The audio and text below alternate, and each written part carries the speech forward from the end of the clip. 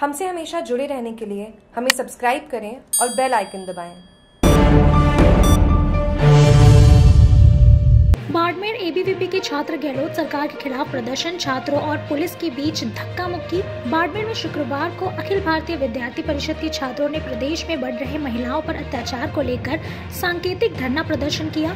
इस दौरान छात्र छात्राओं ने गहलोत सरकार के खिलाफ नारेबाजी कर जिला कलेक्टर को राज्यपाल के नाम ज्ञापन भी सौंपा।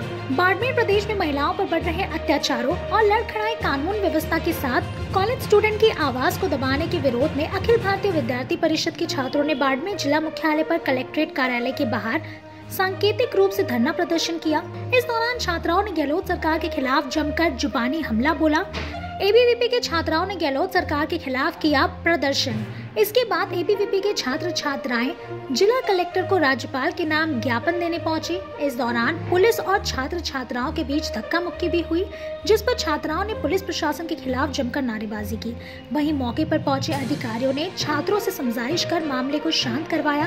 एबीवीपी के जिला संयोजक भोम सिंह सुंदरा ने बताया कि प्रदेश की लचर कानून व्यवस्था के चलते लगातार आपराधिक घटनाओं और दुष्कर्म की घटनाओं में इजाफा हो रहा है। जिससे कानून व्यवस्था के साथ महिला सुरक्षा में गहलोत सरकार पूरी तरह विफल है।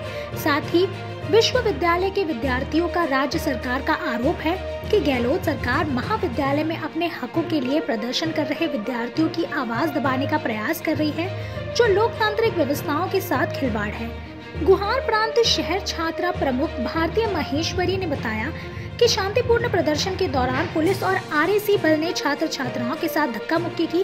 वहीं छात्राओं के लिए कोई महिला पुलिसकर्मी भी यहाँ नज़र नहीं आए। इस बात को लेकर छात्राओं में खासा आक्रोश है। इसके साथ ही एबीवीपी का गहलोत सरकार पर आरोप है कि कॉलेज में विद्यार्थियों को मिलने वाली छात्रवृत्ति बंद से विद्यार्थियों में राज्य सरकार के प्रति भयंकर रोष है। जागरूक टीवी के लिए बाड़मेर से ठाकरा राम इकबाल की रिपोर्ट।